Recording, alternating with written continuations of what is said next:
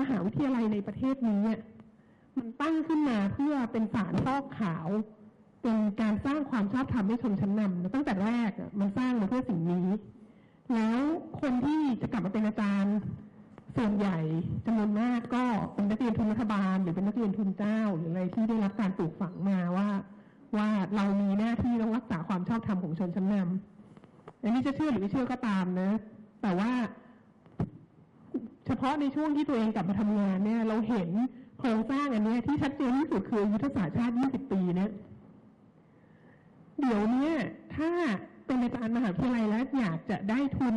สนับสนุนการวิจัยหรืออะไรก็ตามจากหน่วยงานของรัฐ ถ้าคุณไม่ทำเรื่องที่อยู่ในสอดคล้องกับยุทธศาสตร์ชาติ 20 ปีเนี่ย คุณจะไม่ได้เงินสนับสนุนเลย impossible แล้วสิ่งที่แล้วมหาวิทยาลัยถึงแม้จุฬาอย่างคือตอนนี้จุฬาออกนอกระบบอะ อาจารย์มหาวิทยาลัยส่วนใหญ่ไม่ได้เป็นข้าราชการแล้วอะแต่ mentality มันยังเป็นแบบรัฐราชการมากอะว่าเราต้องได้รับการสนับสนุนจากรัฐบาล เราต้องรอเงินรอชอเราต้องรอเงินสนับสนุนจากองค์องค์กรให้ทุนของรัฐและอะไรต่างๆ ดังนั้น เราห้ามพูดอะไรที่มัน เราห้ามทำอะไรพูดอะไรที่มันไม่ให้ความชอบธรรมกับรัฐบาล ซึ่งตอนนี้มันเดินมาถึงทางแยกที่ที่มันมันต้องเลือกอย่างใดอย่างหนึ่งแล้วอะค่ะเพราะว่า ความเผด็จการอำนาจนิยมของประเทศนี้เนี่ย มันมาถึงมันมาถึงทางแยกที่ในโลกนี้เนี่ยไม่มีใครจะคบกับเราแล้วอะถ้าเราจะยังยืนยันอย่างเนี้ย อันนี้ในฐานะเป็นอาจารย์สายทางมนุษยศาสตร์สังคมศาสตร์เนี่ยก็คือบอกผู้บริหารหลายครั้งมากว่า คุณจะต้องการให้เราได้ทุนสนับสนุนการวิจัยจากรัฐ หรือคุณจะต้องการให้เราตีพิมพ์ในระดับนานาชาติ เป็นที่ยอมรับในในนานาชาติ เพราะว่าต้องเลือกเอาอันใดอันหนึ่ง ถ้าจะให้เราทำถ้าจะให้เราทำงานวิจัยเฉพาะในส่วนที่สนับสนุนความชอบธรรมของรัฐ เพื่อให้เราได้ทุนสนับสนุนจากรัฐบาลเนี่ย สิ่งที่เราทำจะไม่มีวันได้ตีพิมพ์ในระดับนานาชาติจะไม่มีวันได้รับการยอมรับในระดับโลกอะไรเงี้ยดังนั้นก็ต้องเลือกเอาเพราะเราเดินเดินทางมาถึงตรงนี้แล้วซึ่งพอพูดอย่างนี้เนี่ย จุดนี้คือจุดที่มีความรู้สึกว่าโครงสร้างของมหาวิทยาลัยที่ยังเป็นรัฐราชการมากอย่างเงี้ย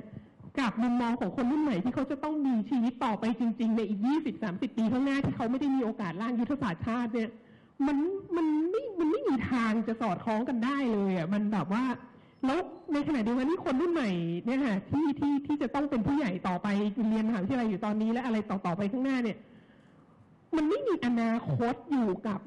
อยู่กับโครงสร้างอำนาจนิยมที่มันเป็นอย่างนี้มาไม่รู้ว่าเจ็ดสิบแปดสิบปีร้อยปีที่ผ่านมาเนี่ย ถ้ามันยังเป็นอย่างนี้ต่อไปเขาก็ไม่มีอนาคต อย่างหนึ่งที่น่าสนใจก็คือว่า ชนชั้นนำเผด็จการเนี่ย มาโดยตลอดเนี่ยก็จำเป็นจะต้องสร้างให้มีมหาวิทยาลัยขึ้นมา เพื่อให้แลดูว่าเรามีความซีวิไลเพื่อให้เราเหมือนโลกตะวันตกและอะไรต่างๆ แต่ว่าโดยที่ ต้องการต้องการจะใช้มหาวิทยาลัยเนี้เป็นสารฟอกขาวให้ตัวเอง แต่ว่าผลพลอยได้จากการมีมหาวิทยาลัยเนี่ย มันก็เลยเป็นพื้นที่ที่ให้คนรุ่นใหม่ได้เรียนรู้ แล้วก็ก็จะมีอาจารย์บางส่วนอาจจะมีคนรุ่นใหม่กลับมาเออเราก็มีความเห็นแล้วก็ต้องการจะผลักประเทศไปข้างหน้าอย่างเงี้ยค่ะท้ายที่สุดก็น่าสนใจว่าโอเค พื้นที่อย่างมหาวิทยาลัยเนี่ยมันก็กลายเป็นจุดบ่มเพาะขบวนการการเคลื่อนไหวภาคประชาชนอย่างที่เราเห็นเห็นวันนี้อยู่ไม่น้อยทีเดียว แต่ว่า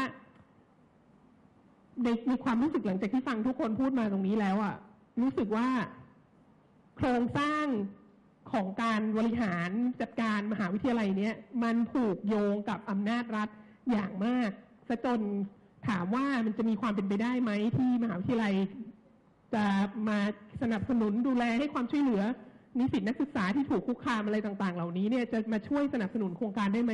เรามีความรู้สึกว่า เราคงต้องเปลี่ยนประเทศให้เป็นประชาธิปไตยก่อนเนี่ยเราคงต้องไปเอาเสรีภาพในระดับสังคมก่อน แล้วมหาวิทยาลัยนี้มันจึงจะเปลี่ยนตามอย่างเงี้ยค่ะ